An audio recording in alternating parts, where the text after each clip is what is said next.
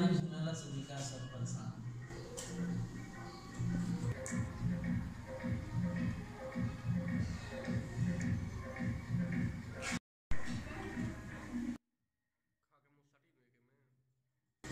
अच्छा। क्वेश्चन वाला चल रहा है